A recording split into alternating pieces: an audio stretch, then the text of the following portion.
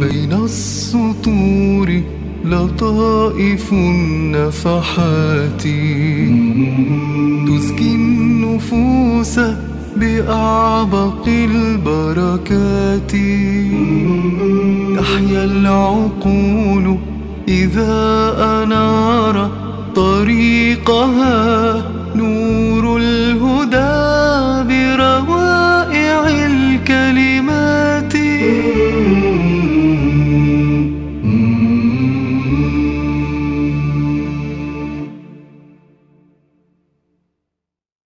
بسم الله الرحمن الرحيم. الحمد لله رب العالمين. وصلى الله على محمد وآله الطيبين الطاهرين. ولعنة الله على أعدائهم أجمعين إلى قيام يوم الدين. انتهى بنا المطاف في الحلقة القادمة إلى أن ذكرنا أن الخطاب الثقافي الإسلامي خطاب متنوع خطاب يخاطب العقل وخطاب يخاطب العاطفة وخطاب يخاطب الفطرة لأن الإنسان له عقل وعاطفة وفطرة. عقله يحركه في بعض الأحيان فيقتنع وتظهر هذه القناعة في أفعال وسلوك الإنسان. وفي بعض الأحيان خطاب العقل لا يكفي لهذا الإنسان بل يحتاج إلى خطاب العاطفة. لكي تتحرك هذه العاطفة وتكون محركا لعقله. هناك نوع ثالث من الخطاب وهو خطاب الفطرة. لأنه في كثير من الأحيان تركيبة عقل بعض الناس بسبب التربية أو بسبب الأجواء التي يعيشونها أو بسبب أسلوب الحياة تختلف عن تركيبة العقل السليم والصحيح. ففي كثير من الأحيان ناس ذوي عقول ولكن عقولهم لا تسير بالطريقة السليمة أو الصحيحة. وكما في بعض الروايات هناك شيء شبيه للعقل. ليس العقل وإنما هو شبيه العقل. يعبر عنها في بعض الروايات بالنكراء أو الشيطنة لأنه في حديث شريف الإمام الصادق عليه الصلاة والسلام كما يروي الكليني رضوان الله تعالى عليه في الكافي قال العقل ما عبد به الرحمن. فقال أحد الرواة أو السائل للامام سأل عن الذي كان في معاوية. الإمام عليه الصلاة والسلام أجاب ذلك لم يكن عقلا وإنما تلك النكراء تلك الشيطنة هي شبيهة بالعقل وليست من العقل لأنه تدبير لكن تدبير خاطئ. أسلوب لكن أسلوب غير سليم. الشاهد أن تركيبة عقول بعض الناس بسبب التربية أو الأجواء التي يعيشونها تركيبة لا تتلقى المفاهيم الصحيحة بشكل سليم وإنما تتلقاها حسب الإطار التي وضعت فيه. مثل الحاسوب الكمبيوتر الذي يبرمج ضمن برمجة خاصة فالنتائج تكون على حسب تلك البرمجة.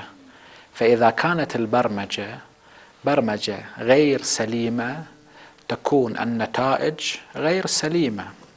الفرق بين البرمجة السليمة والبرمجة غير السليمة. قد الجهاز يكون نفس الجهاز ولكن المبرمج برمج بطريقة سليمة أو بطريقة غير سليمة. عقل الإنسان أيضا في مثالنا يشبه جهاز الحاسوب وهذا العقل قد يبرمج. هذه البرمجة قد تكون برمجة خاطئة بسبب التربية أو الأجواء التي يعيشها الإنسان أو بسبب التراكمات التاريخية أو الفكرية أو أي جهة أخرى. فتكون هذه التركيبة تركيبة خاطئة. فخطاب هذا العقل بالخطاب السليم في كثير من الأحيان لا يؤثر. لماذا؟ لأنه هذا الخطاب لا يناسب التركيبة التي موجودة لعقل هذا الإنسان. فبناء على ذلك نحن بحاجة إلى نوع آخر من الخطاب. نعبر عنه بخطاب الفطرة. وإذا شاهدنا وقرأنا سيرة الأنبياء على نبينا وعليهم الصلاة والسلام نجد أن الأنبياء في بعض الأحيان أو في كثير من الأحيان كانوا يخاطبون فطرة الإنسان. الفطرة التي أودعها الله سبحانه وتعالى في كل إنسان فطرة الله التي فطر الناس عليها لأنه الخطاب العقلي لا يفيده. الخطاب العاطفي قد لا يفيده لأنه منزوع العاطفة أو ليس ذلك الأمر من اهتماماته. فيأتي دور خطاب الفطرة. الآن نحن في العصر الحاضر مثلا نواجه بتحدي كبير هو التحدي المتمثل في الثقافة الغربية. طيب إذا أردنا أن نبين الإسلام الصحيح لهؤلاء. إذا نتكلم بطريقتهم فإن هذه الطريقة يعني طريقة خريطة عقلهم طريقة بنية عقلهم تختلف عن طريقة العقل السليم. لماذا؟ لأنه منهجهم منهجهم يختلف اختلافا جذريا عن منهجنا. إعلامهم يختلف وهذا الإعلام يركز على بعض الزوايا التي تهمهم.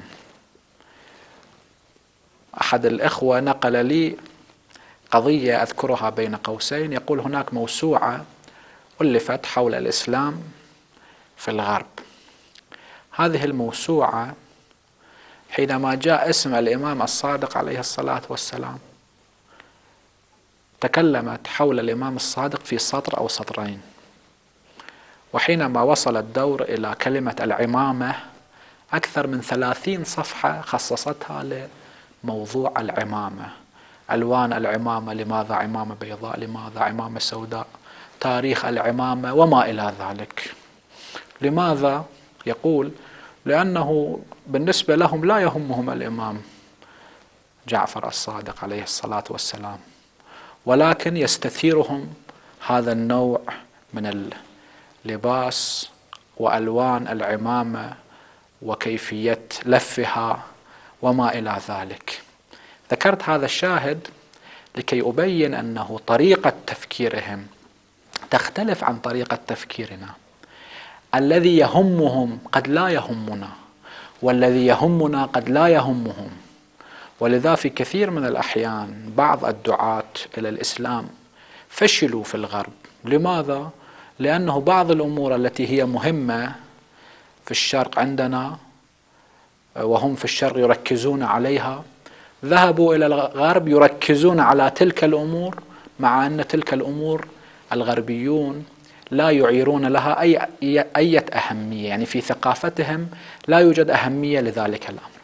في حين أنه بعض الأمور التي تهمهم كثيرا لا تهمنا كثيرا. فإهمال هذه الجوانب أيضا يسبب ضعف الخطاب.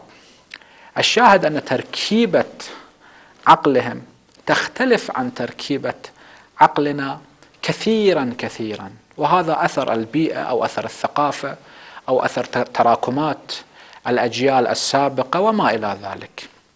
حينما تريد أن تخاطبه بعقله قد تركيبة عقله لا تتقبل الكلام العقلاني التي انت الذي أنت تذكره. يعني بمعنى آخر لا توجب قناعته لا يقتنع بهذا الكلام. أن تتكلم عن العفة والعفاف عشرات الساعات. لعله لا يهمه هذا الأمر اطلاقا لأن تركيبة فكره تختلف عن تركيبة فكرنا. فهنا مع لزوم خطاب العقل لهم ولزوم خطاب العاطفة لهم يلزم أيضا خطاب فطرتهم لأن الفطرة قد تغلف بغلاف ولكن يمكن اختراق ذلك الغلاف والوصول إلى أعماق فطرة الإنسان. ونحن لو قلبنا صفحات التاريخ لوجدنا حتى أعتى الطغاة. حينما كان الطرف المقابل يخاطبهم يخاطبهم بفطرتهم تجد التأثير البليغ. ولو تأثير وقتي. مثلا نشاهد أن مثلا آه، ضرار ابن ضمرة بعد استشهاد أمير المؤمنين عليه الصلاة والسلام دخل على معاوية فقال له معاوية صف لي عليا. يعني أذكر أوصافه. فضرار خاف. فقال أقلني. فمعاوية ما قبل. وقال له صف لي عليا. فوصف ضرار أمير المؤمنين عليه الصلاة والسلام بأوصاف كلام ضرار ابن ضمرة كان يخاطب فطرة معاوية. لم يكن يخاطب عقله لأنه كانت له النكراء التي هي شبيهة بالعقل. ولم يكن يخاطب عاطفته لأنه لم يكن له عاطفة. وقتل آلاف مؤلفة من الناس في صفين وفي غير صفين وقضاياه معروفة. فهنا خاطب فطرته. هذا الخطاب للفطرة مع أن معاوية كان من أعدى أعداء أمير المؤمنين عليه الصلاة والسلام. وقاتله في صفين وشن الغارات على أطراف آه، حكومة أمير المؤمنين وسن سبه على المنابر بحيث أنه سب الإمام أمير المؤمنين على سبعين ألف منبر إلى زمان عمر بن عبد العزيز. حيث ألغى السب ويقال أنه بعد عمر بن عبد العزيز سائر حكام بني أمية رجعوا إلى السب وقال برئت الذمة من من روى فضيلة لأبي تراب وما إلى ذلك. وقبل الإسلام قبل فتح مكة عشرين عاما حارب معاوية مع المشركين ضد رسول الله صلى الله عليه وآله وفي يوم بدر كان في صف المشركين. إلى يوم فتح مكة حيث اضطر أن يظهر هو وأبوه الإسلام. وبعد وفاة الرسول رجع إلى ما كان عليه ولكن بغلاف الإسلام. فمع هذا العداء المستشري وهناك عداء تاريخي بين بني أمية وبني هاشم قبل الإسلام مذكور في كتب التاريخ ولكن مع ذلك لأن خطاب ضرار ابن ضمرة كان خطاب لفطرة معاوية هنا تأثر معاوية وبكى وصدق كلام ضرار لأن الكلام كان موجه إلى فطرته. فهذه الفطرة ظهرت. أو في القضية الأخرى المتوكل العباسي معروف كان ناصبيا ويشتم ويسب أمير المؤمنين عليه الصلاة والسلام. ومرات متعددة أمر بهدم قبة الإمام الحسين عليه الصلاة والسلام وأجرى الماء على قبر الحسين وأمر الزراع أن يحرثوا القبر وأطراف القبر. طبعا ظهرت هنا معاجز وكرامات حار الماء الثيران لم تتقدم على القبر. هذا موضوع آخر ولكن المقصود أنه بهذه الحالة من العداء والنصب تجاه الإمام أمير المؤمنين عليه الصلاة والسلام وتجاه الإمام الحسين كان له شخص يضحكه فكان يقول له أنت مثلا علي بن أبي طالب ويتصرف بعض التصرفات غير اللائقة وهو وجماعته يضحكون. فهذا الرجل بهذه الكيفية وهذا العداء والنصب المستشري في قلبه في يوم من الأيام في ليلة من الليالي أمر جلاوزته فهجموا على دار الإمام الهادي عليه الصلاة والسلام مع أن الإمام الهادي كان محبوسا في سامراء وبأمر المتوكل أخرج من المدينة وجيء به إلى سامراء وكان تحت رقابة السلطة وسامراء في ذلك الوقت كانت عسكر معسكر. يعني الإمام كان في المعسكر تحت الرقابة ولكن مع ذلك كان يخشى ويخاف من الإمام. فأرسل في منتصف الليل عليه وجاءوا بالإمام عليه الصلاة والسلام وكان المتوكل في مجلس الخمر. فقال للإمام عليه الصلاة والسلام أنشدني. يعني اقرأ لي أشعار وهو كان في حالة شبه حالة سكر من شرب الخمر. فالإمام عليه الصلاة والسلام هنا كيف يواجه هذه الطاغية؟ يستدل له باستدلالات عقلية وهو رجل قد سكر من السلطة قبل أن يسكر من الخمر. يخاطب عاطفته عاطفته ميتة. رجل مليء بالإجرام لا يمكن أن تخاطب عاطفته ولا يتأثر بالخطاب العاطفي. هنا الإمام عليه الصلاة والسلام ذكر أبيات من الشعر ويقال إنها منسوبة إلى أمير المؤمنين علي بن أبي طالب عليه الصلاة والسلام. الأشعار المعروفة باتوا على قلل الأجبال تحرسهم غلب الرجال فلم تنفعهم القلل واستنزلوا بعد عز عن معاقلهم. وأسكنوا حفرا يا بئس ما نزلوا. ناداهم صارخ من بعد دفنهم. أين الأسرة والتيجان والحلل فأفصح القبر عنهم حين سألهم. تلك الوجوه عليها الدود تقتتل فالإمام بهذه الأشعار وجه كلامه إلى فطرة المتوكل. فلذا في لحظات زال السكر عنه سكر السلطة وسكر الخمر وارتجف من الخوف وبكى. ولو أن الرجوع إلى هذه الفطرة كان لدقائق معدودة لأنه الظرف الذي كان فيه والإجرام والسلطة وما إلى ذلك ما سمحت له ولأمثاله بأن يستمروا في الرجوع إلى فطرتهم. ولكن المقصود أنه اعتى طاغية عندما تخاطب فطرته تؤثر فيه ولو للحظات. النوع الثالث من الخطاب الثقافي الإسلامي هو خطاب فطرة الناس. وهذا الخطاب للفطرة يؤثر تأثير بليغ على كثير من الناس. ولذا الوالد رحمة الله تعالى عليه حينما كان يريد أن يخاطب الغرب مرة تخاطبه بأدلة عقلية جيد يؤثر على شريحة قليلة. تخاطبه بخطاب عاطفي جيد يؤثر على شريحة أخرى أيضا.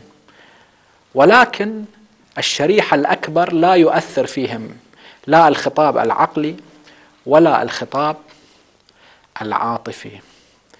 استعمل طريقة خطاب الفطرة معهم. ألف كراس هذا الكراس باسم الغرب يتغير. الغرب يتغير جمع فيه حوالي عشرة من أهم مساوئ الغرب من الاستعمار والسلاح والفساد وما إلى ذلك وحاول في كلمات مختصرة أن يوجه الخطاب إلى فطرة الغربيين أن هذا السلاح مرة نتكلم بأنه مضر وأنه يقتل وأنه كذا ويخلف أيتام يعني نخاطب العقول والعواطف نجد أنه لم يؤثر تأثيرا بليغا فيهم. لكن إذا تمكنا من الوصول إلى فطرتهم قد نتمكن ولو بعد حين أن نغير من بعض قناعاتهم خاصة قناعات شعوبهم. فلذا جاء الكتاب الغرب يتغير ولو قدر لهذا الكتاب أن يسوق تسويق فكري مقصودا بشكل صحيح آه، لأثر تاثيرا بليغا على كثير من جماهير الغرب. فبناء على ذلك الخطاب الثقافي الإسلامي يعتمد على خطاب العقول ويعتمد على خطاب العواطف ويعتمد على خطاب الفطرة. والقرآن الكريم جمع بين هذه الموارد الثلاث. ونحن ينبغي علينا أن لا نفرط بجانب على حساب الجوانب الأخرى. البعض كما ذكرنا يستشكل على المجالس الحسينية غافلا عن أنها إضافة إلى خطابها للعقول تخاطب العواطف وتأثير مجلس حسيني واحد أكثر من عشرات الندوات الثقافية في بعض الأحيان في تحريك الجمهور. نسأل الله سبحانه وتعالى أن يوفقنا وإياكم لأن نسير على نهج الرسول صلى الله عليه وآله. هذا وآخر دعوانا أن الحمد لله رب العالمين وصلى الله على محمد وآله الطاهرين.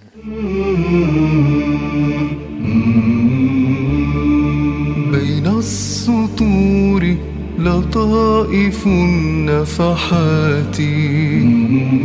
تزكي النفوس بأعبق البركات. تحيا العقول إذا أنار طريقها